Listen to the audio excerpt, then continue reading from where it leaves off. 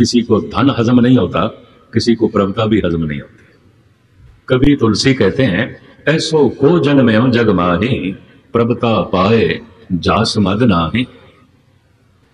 तुलसी, प्रभुता मिल गई है और मद नहीं है, अहंकार नहीं। है ऐसा कौन है? ऐसा कौन सा माई का लाल है? ऐसो को जन में जन जन्म जग माही प्रभुता पाए जास मन नाही। अहंकार की छाप मस्तक पे दिखाई देती है।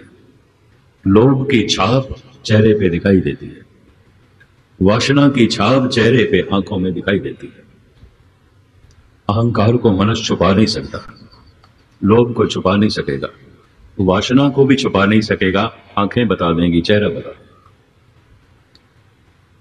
और यह भी मैं अर्ज़ करूँ, प्रभु का नाम ज्ञान वाणी का जप तप जो पूरे मन से किया है इसको भी मनुष्य छुपा नहीं सकता। हर का भगत प्रगट न छपे।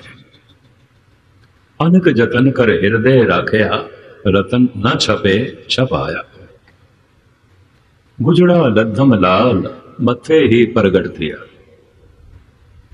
अब मथे आपके सिंधी में कहते हैं सामने।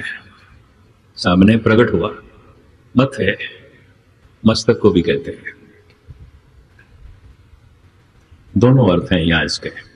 सामने मस्तक पे प्रकट हुआ। गुजड़ा लद्धम लाल, मथे ही प्रकट दिया। सामने प्रकट हो गया, मस्तक पे प्रकट हो गया। मस्तक में छुपाने की कोई कला नहीं है, वो छुपा नहीं सकता। ये बात अलग है कि मस्तक के लेख किसी को पढ़ने ना ना पढ़ सकता। ये भी एक भाषा है। ये भी एक अक्षर है, किसी के मस्तक को पढ़ना। किसी की आँखों को पढ़ना।